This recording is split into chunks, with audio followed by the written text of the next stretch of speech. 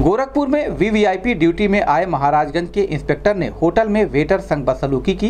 Hotel में लड़की की डिमांड ना पूरी होने पर वेटर को कमरे में बंद कर लिया, उसके साथ गंदी हरकत करने लगा। होटल मैनेजर ने कोतवाली पुलिस को सूचना दी। मौके पर जब पुलिस पहुँची तो खुद को इंस्पेक्टर बताते हुए वह भिड़ गया।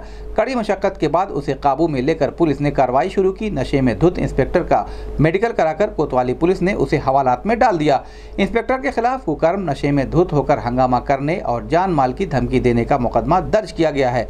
गौरतलब है कि जौनपुर ज़िले का मूल निवासी विनोद कुमार यादव महाराजगंज में तैनात है। शनिवार को वीवीआईपी ड्यूटी के लिए वह गोरखपुर आया। बाबीना रोड के होटल में उसने कमरा लिया। रात में करीब 11 बजे कहीं से नशे में धुत होकर वह होटल में पहुँचा। थोड़ी देर बाद उसने होटल कर्मचारियों से लड़की का इंतज़ाम करने को कहा।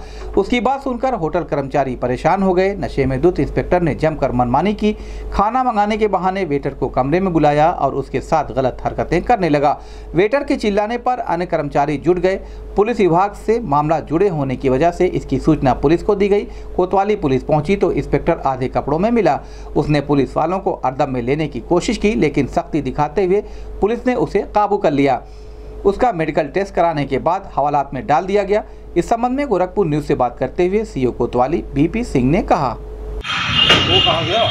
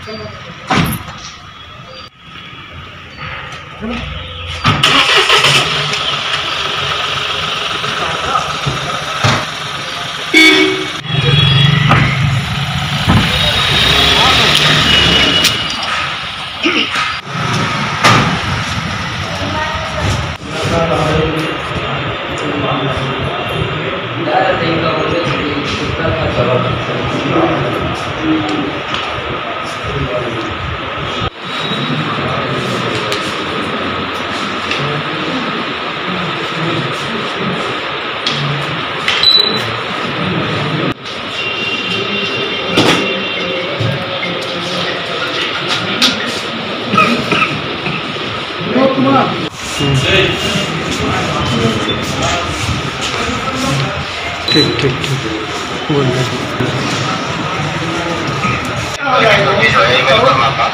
हम्म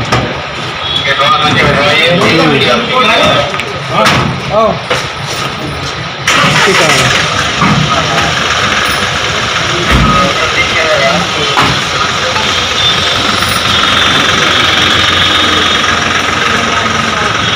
ये कोतवाली थाना क्षेत्र में स्थित एक गोविंदा होटल है। इस होटल के कमरा नंबर 211 में इंस्पेक्टर साहब यहाँ ड्यूटी में आए थे जनपद गोरखपुर रुके हुए थे।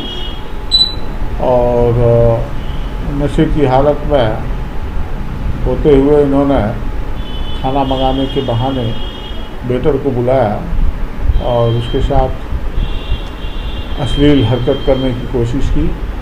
जिसके संबंध में थाना कोतवाली पर मुकदमा पंजीकृत किया गया है और उन्हें गिरफ़्तार कर जेल भेजा जा रहा है।